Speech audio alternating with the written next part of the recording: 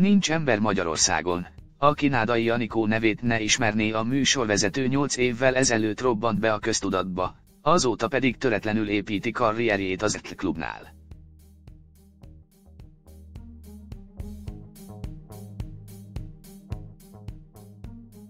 Anikó eleinte a Vlóvilágban, majd az éjjel-nappal Budapestben szerepelt, végül saját talkszóté kapott, illetve több széria óta vezeti a Való Világ műsorát.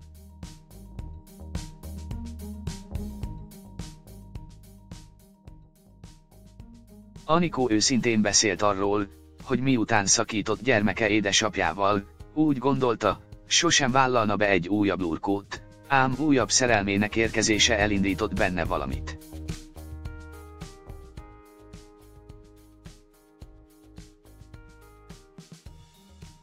Nyolc hónapja vagyunk együtt a párommal, akivel nagyon harmonikusan élünk. Mivel neki is van egy Patrikhoz hasonló korú kislánya, tulajdonképpen komplett család lettünk.